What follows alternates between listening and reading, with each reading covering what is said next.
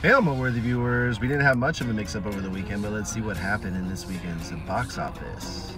Migration stays at number five with Illumination and bringing in uh, 2.9 million more dollars to their total, bringing their total to 110 million dollars. This movie is doing swimmingly.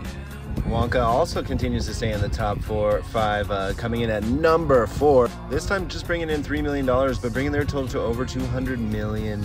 Just killing it. Probably one of the bigger movies uh, of December. Even though it's available to rent, The Beekeeper is staying strong, bringing in uh, bringing in 3.3 million dollars, uh, holding steady in the top five, and their total is just 54 million dollars. But I bet they're happy with that, and we'll probably make another debuting at number two, not to be uh, to be beaten by the uh, top spot, Kathryn Newton and Cole Sprouse starring Lisa, Lisa Frankenstein, bringing in 3.9 million dollars over the weekend. 3.69 million dollars, and that is their total so far since it just opened.